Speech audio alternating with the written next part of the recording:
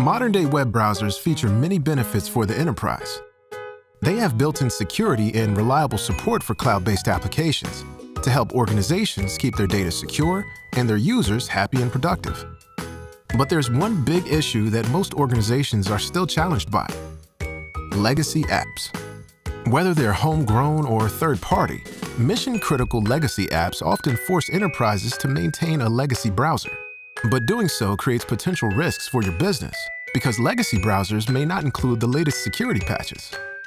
Luckily, Chrome browser offers businesses legacy browser support for Windows environments to save time, increase security, and improve user experience.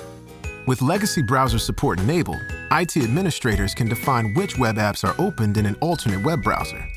Users will automatically be redirected to the legacy browser that these apps need in order to function. When they're ready to access a different app or start browsing the web again, users will be sent back to Chrome browser safely and seamlessly.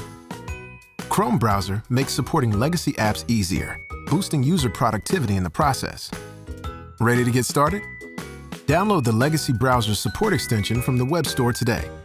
If you aren't already managing Chrome browser, download the Enterprise Bundle first. Users rely on you to keep them safe, even when accessing a legacy application, which is another reason why you can rely on Chrome Enterprise.